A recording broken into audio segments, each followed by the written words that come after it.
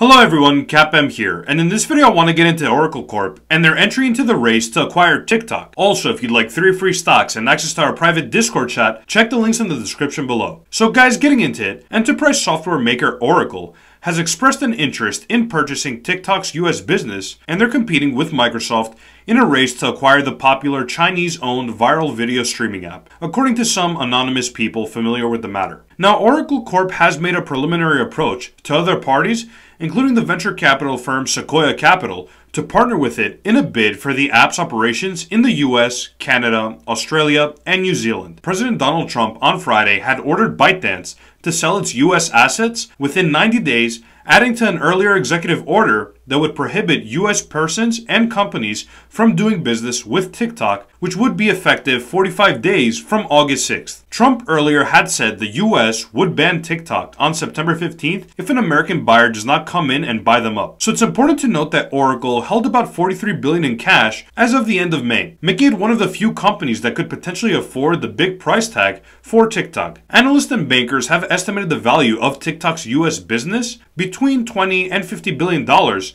and that's a pretty wide range that reflects the complexity involved in separating TikTok's American and global businesses. So Oracle is currently the world's second largest software maker and is focused on supplying to business customers, which is why its attempt to buy TikTok is pretty interesting, seeing that it has virtually no investments in consumer apps or social media. So they could be wanting to hedge themselves and start dipping their toes into new areas which could represent more growth for the company. So guys, if you've been enjoying the videos so far, can you please drop a like? It really really helps out the channel a lot with the algorithm, and I really appreciate it, and it lets me know you guys enjoy the content. So now let's get into the stock chart. So guys, getting into the chart of Oracle Corp, we did see a huge retracement during the pandemic, and we started breaking under this level that was a huge level of support for pretty much over a year. And we do see that right now we are trending back upwards after we were able to break above the 20 and 50 exponential moving averages in this area. Now, what we do see right here is that it is approaching an area of value, and we are around the 200 simple and exponential moving averages. And if Oracle Corp were to be able to buy TikTok's US business,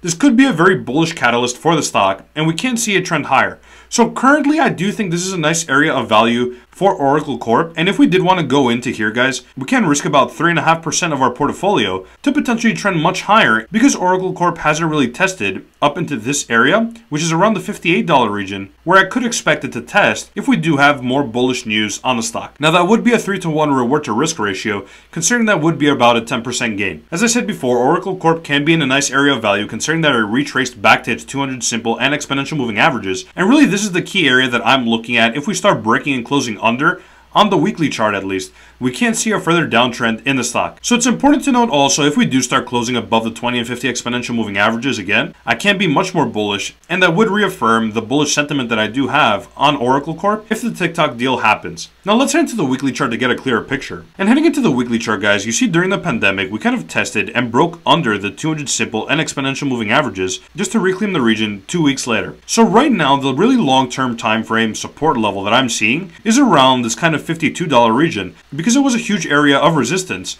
once, twice, a third time, a fourth time, and then the fifth time we tested it, we broke higher. And as you guys know, I always say that the more times you test a region, the higher the likelihood for a breakout. And we saw just that, right? And we got again supported by this region, trended much higher, and we kind of established this bearish descending triangle formation that could have signified to us a more bearish downtrend in the stock. And of course, this aligned nicely with the February and March market crash, and we did see a pretty huge capitulation. But again, we have reclaimed the region and we are testing again close to the support box. So that can be a nice trade that I had outlined for you guys. We can potentially see a retest to these recent highs and potentially a higher breakout. And just using the Fibonacci sequence to see some areas of confluence, we do see that this area over here is aligning nicely with the 236 level on the Fibonacci sequence that generally can help a strong uptrend continue. So really this can be a nice area. It also aligns nicely with the 50 exponential weekly moving average as well. And I do think there's potential higher upside for Oracle Corp, especially if we do start closing above this $55 region. So overall, guys, if you found this video helpful, please like and subscribe. It really helps out the channel a lot with the algorithm. Thank you guys for watching, and have a great one.